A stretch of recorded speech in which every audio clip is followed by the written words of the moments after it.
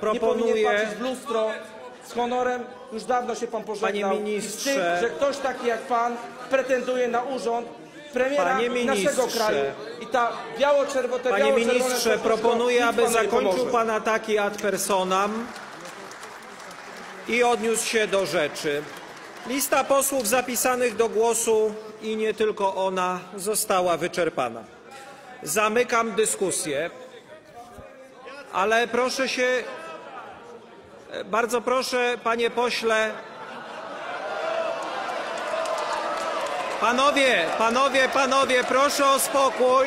Proszę o zajęcie miejsc. Proszę o zajęcie miejsc.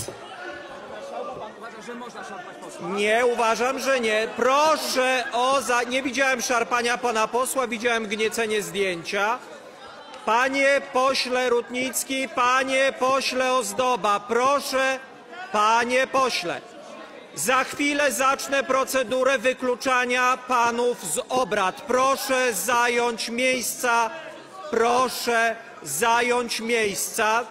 Za chwilę zacznę procedurę wykluczania panów. Panie marszałku!